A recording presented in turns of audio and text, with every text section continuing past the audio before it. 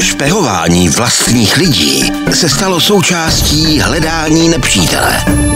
A pátrání po nacistických pokladech pokračuje i díky stále modernějším přístrojům. Amerika, země pod dohledem a depozity Třetí říše.